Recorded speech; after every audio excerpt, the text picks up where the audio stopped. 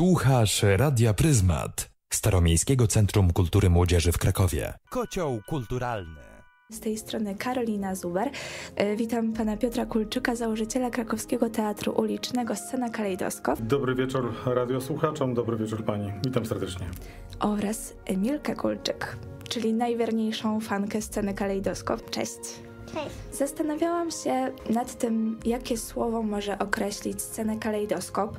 Nie znalazłam żadnego lepszego poza kalejdoskop. No tak, y, to ujęła pani tutaj sedno sprawy. Kalejdoskop e, e, nie przez przypadek pojawił się w nazwie naszego teatru, dlatego że opisuje różnorakość i wielowymiarowość tych działań, które realizujemy. Jesteśmy zespołem teatralnym, e, który, który dość trudno zdefiniować, jeśli przynajmniej chodzi o, o, o że tak powiem, zasoby ludzkie. Ponieważ ten zespół jest e, bardzo żywym organizmem, on się cały czas zmienia i tak naprawdę z tego składu, który był na początku, pozostałem tylko ja. Natomiast y, w międzyczasie sporo e, artystów dołączyło do nas, sporo artystów odeszło od nas w taki naturalny sposób, ponieważ no, ludzie, którzy z nami współpracują, mają różnego rodzaju pomysły na życie i czasami bywa tak, że nasz teatr jest dla nich e, swego rodzaju przystankiem, jakąś próbą sprawdzenia swoich umiejętności, swoich możliwości. Przygoda. Tak, tak. Niektórzy e, z tych artystów zostają z nami na dłużej, a niektórzy nie. I tutaj jakby w tym wszystkim nie ma niczego dziwnego. To po prostu jest taka formuła. To nie tylko aktorstwo u was jest potrzebne, ale również taka gibkość może, Tak, tak. sztuka akrobacji, żonglerki. Tak jak pani zauważyła, to jest, to jest bardzo ważne u nas, dlatego że no, teatr, w ogóle teatr wymaga od aktora sprawności fizycznej, prawda? Teatr uliczny z racji tego, że posiłkuje się różnego rodzaju aktywnościami typu szczudlarstwo, akrobatyka, żonglerka, no ale też jakby samo funkcjonowanie na scenie wymaga od artysty, od aktora tego, żeby jednak był w dobrej kondycji fizycznej. Więc no, no szukamy ludzi sprawnych fizycznie, może nie akrobatów, cyrkowców, ale y, sprawnych fizycznie trochę bardziej niż przeciętny człowiek. Troszkę bardziej odważnych do tych wszystkich Też, rzeczy. tak, to bardzo cenne spostrzeżenie. Troszkę bardziej odważnych. Chociaż ja tak sobie czasami myślę, chociażby nauka na szczudłach i warsztaty szczudlarskie, one też dużo mówią, prawda? I o tej właśnie odwadze, o której pani wspomniała, o pewnego rodzaju predyspozycjach, o jakiejś determinacji, konsekwencji. I ja, ja bacznie obserwuję, e, ponieważ dużo informacji uzyskuję i podczas takich warsztatów, podczas castingu. To jest też takie pana może pierwsze dziecko? W jakimś sensie tak, w jakimś sensie tak. Mam syna kochanego Leona, który e, 20 lat ma, więc można powiedzieć, że się e, urodził e, równiutko z teatrem. E, Scena Kalejdoskop. Notabene miał okazję występować kilka razy z nami. Czasami to tak wygląda, że jest to taki też teatr rodzinny, ponieważ kostiumami zajmuje się Edyta Szota-Kulczyk, czyli moja żona i mama Emilki Leona, więc też nie można jej tutaj oczywiście pominąć.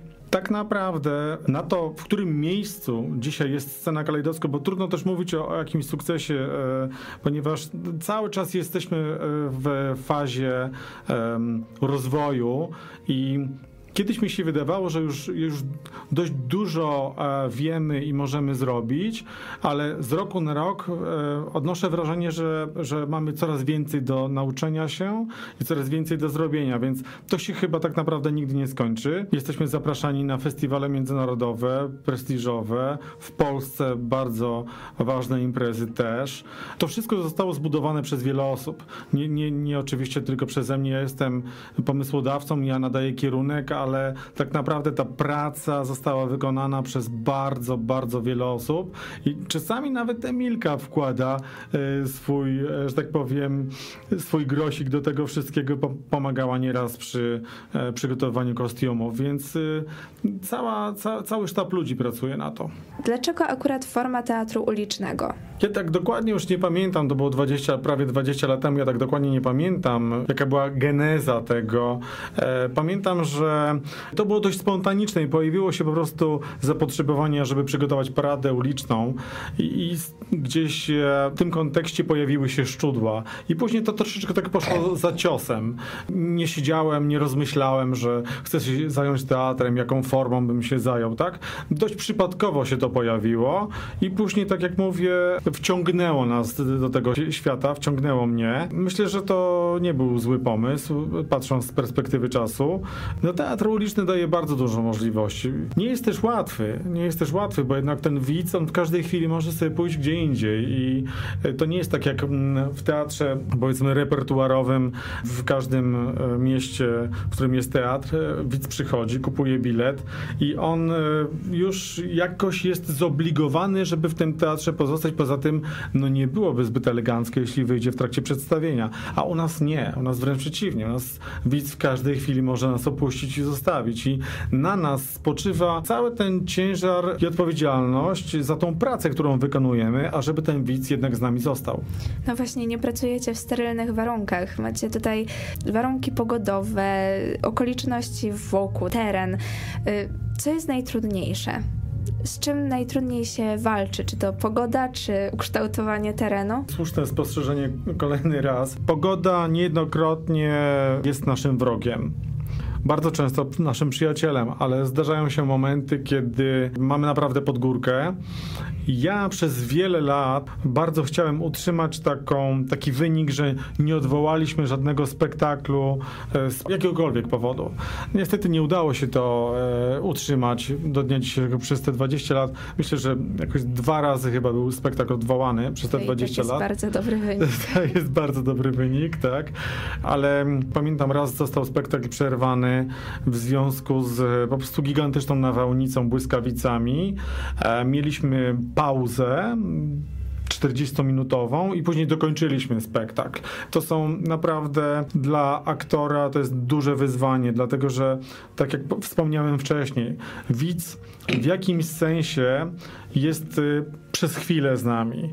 A przestrzeń plenerowa się bardzo, widzowi, widownia plenerowa się zmienia bardzo dynamicznie. I ten widz później, po tych 40 minutach, albo częściowo widownia się wymieniła, ale też jakby straci, y, stracili już ten klimat, straciła już ta atmosfera, która była wytworzona na początku spektaklu, ona już się gdzieś tam rozmyła, rozpierzchła, więc y, to, to, to nie jest łatwe zadanie. Niejednokrotnie mieliśmy tak, że naprawdę bardzo mocno wiało.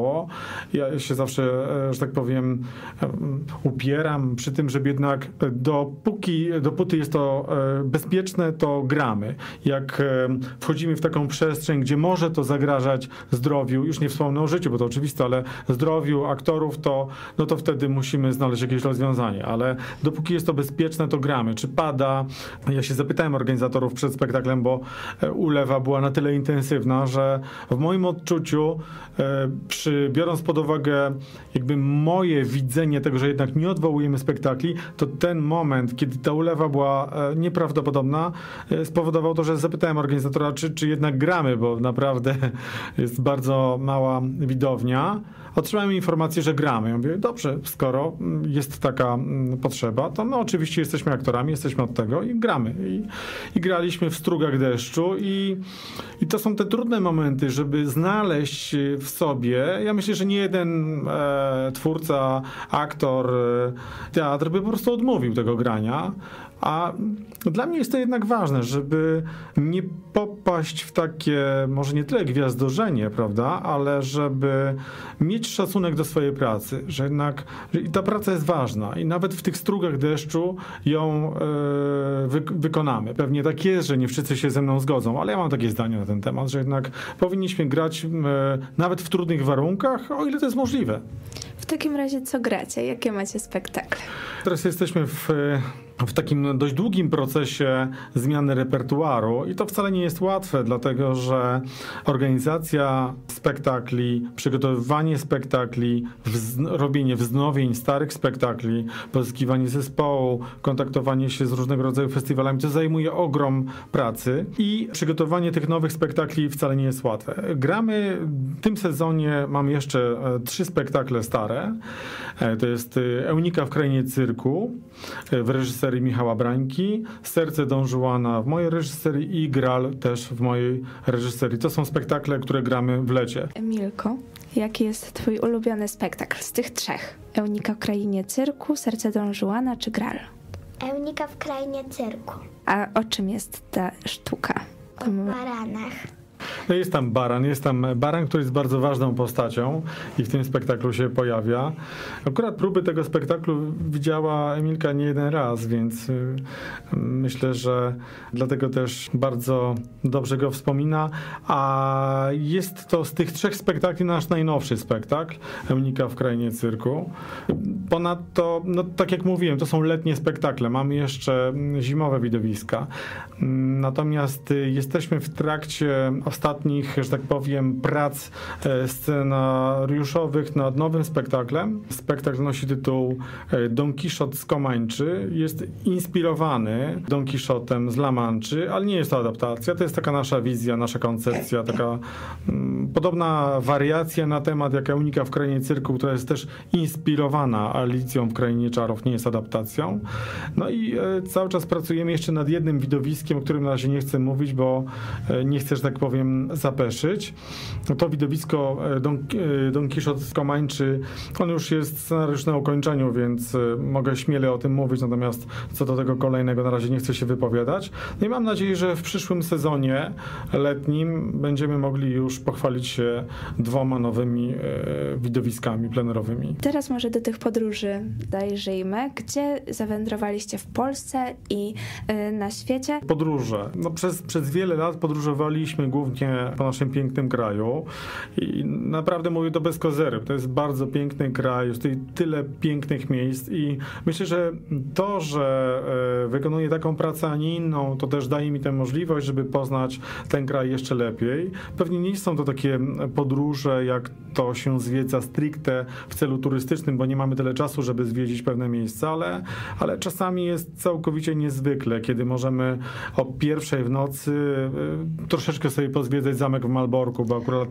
akurat tam występowaliśmy i prawdopodobnie większość zwiedzających nigdy nie będzie mogła zaj- zajrzeć w te miejsca, w którym my mogliśmy, e, czy jakikolwiek inny zamek, który mieliśmy okazję zwiedzać, ale no Prawdopodobnie, jak tak patrzę sobie czasami na mapę Polski, to są oczywiście miejsca, w których nie byliśmy. E, Nie przesadzajmy, że byliśmy wszędzie, ale właściwie to mogę powiedzieć, że chyba graliśmy e, we wszystkich większych miastach w Polsce, no i w ogromnej, właściwie już dzisiaj to niezliczonej ilości, ja już przestałem to liczyć, e, miastach i, i wioskach e, w Polsce. Pamiętam, że kiedyś liczyłem, ile graliśmy spektakli Don Juana i gdzieś w okolicach 250 chyba już, już powiedziałem, że nie będę dalej liczył. Grala znacznie mniej graliśmy, myślę, że około 150 razy zagraliśmy. Eunika to jest, m, trudno powiedzieć, około 40 razy, może trochę więcej. No i mnóstwo różnego rodzaju happeningów, parad ulicznych, widowisk zimowych, widowisko Pierwsza Gwiazda, też około 30 razy zagrane. No troszeczkę tych kilometrów zrobiliśmy po polskich drogach. Najlepsze wspomnienie. Najlepsze wspomnienie? Tych wspomnień tak naprawdę jest kilka. Dlatego to jest trudne pytanie. To jest bardzo trudne pytanie. Ja nie, nie wiem, czy ja tak umiem odpowiedzieć, bo ja zawsze marzyłem o tym, żeby tak e, rozwijać ten teatr i prowadzić, żebyśmy mogli jeździć na e, zagraniczne festiwale. I tak myślałem sobie e, o Francji, o Hiszpanii, myślałem sobie o takich różnych wojażach teatralnych, ale nawet nie marzyłem o tym, że wyjedziemy do Chin i to w odstępie czasu kilku miesięcy dwukrotnie. I to był jeden, taki, jeden, takich, jeden z takich momentów, kiedy wylądowaliśmy za pierwszym razem na lotnisku e, w Kunming w Chinach. Jechaliśmy autobusem e, całym zespołem i, i poczułem wtedy, to było piękne uczucie. Coś w rodzaju, nie wiem, spełnionego marzenia być może. I naprawdę to było piękne, ale wiele tego typu sytuacji miałem też w Polsce. I e, przecież głównie występujemy w Polsce. Polsce. To, jak występowaliśmy na festiwalu teatrów ulicznych w Krakowie, na, ta, na festiwalu Ulica, też y, miałem takie poczucie, że to jest piękny moment, więc tych miejsc było e, więcej. Ja pamiętam też taką malutką wieś, to była Żarska Wieś w okolicach Zgorzelca, to było wiele lat temu, graliśmy tam Serce Don Juana. Ze Szczudeł, ja jeszcze wtedy grałem w spektaklu, ze Szczudeł widziałem przejście graniczne między Polską a Niemcami. I tam ludzie po spektaklu przychodzili i mówili, że byli tak wzruszeni, że po prostu płakali. I to też było było dla nas bardzo piękne i naprawdę nie trzeba wyjeżdżać do Azji, żeby poczuć spełnienie z pracy, którą się wykonuje. Takie momenty są chyba najlepszą zapłatą za to, co się robi. Tak. I tak. 20 lat takich doświadczeń i życzę kolejnych 20 jeszcze więcej, aby to się mnożyło i serce tylko rosło od tego. Ja jeszcze na koniec muszę zapytać Emilki, co ty robisz na tych próbach? Oglądam. Chciałabyś przybrać jakąś postać w przyszłości? Może z Euniki w krainie cyrku? Tak. Ja myślę, że tak e, cicho sobie czasami marzę. Może Emilka na przykład e, tak się tym zainteresuje, że będzie chciała kiedyś poprowadzić teatr uliczny Stanę Kalejdoskop, ale niczego tu jej nie narzucam. To też nie chcę, żeby wyszło to ze mnie, ale tak jak wspomniałem wcześniej, ja jestem bardzo często zaskakiwany jej wiedzą na temat naszych spektakli, bo jednak dzieci są bardzo chłonne i stojąc gdzieś z boku, oglądając próby, czy czasami spektakl, bardzo dużo się uczą i zapamiętują, więc myślę, że czasami mogłaby mi pomóc podczas prób. Ta fascynacja rzeczywiście jest widoczna i kto wie, Dokładnie. kto wie. Bardzo dziękuję. Dziękujemy również. Kocioł kulturalny.